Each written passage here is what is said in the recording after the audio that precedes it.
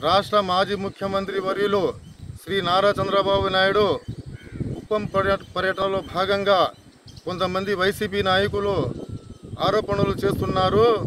ఈ తూరి కుప్పం గెలవనిమని కుప్పం వచ్చేసి మన మన మన రా- చంద్రబాబు నాయుడు కంచుకోట కంచుకోట. అది ఎవరి అయ్యే పని కాదు. రెండు వేల ఇరవై నాలుగులో అత్యధిక భారీ మెజార్టీతో రా రాష్ట్రంలోనే గెలుస్తామని మనకు నమ్మకం ఉండదు.